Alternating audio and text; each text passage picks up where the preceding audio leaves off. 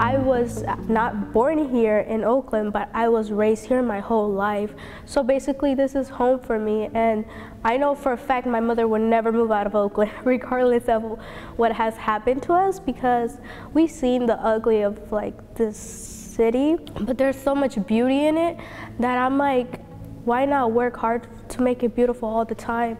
And after some personal experience that we felt so unsafe, I took it upon myself to make sure no one, no mother, no child, no father should ever feel like they have to leave a whole city so their family could be safe. So that's what really motivates me to make sure no, no children feels powerless and feels unsafe. It's very important to love yourself in order for you to go and demand something. You know what I mean?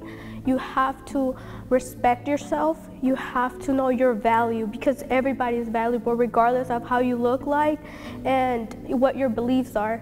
Your voice matters. Everyone's voice matters. Youth voice matters. It's very important that youth know that they have to start getting up and talking about issues that impact them. Start speaking up, and if they can't hear you, get louder.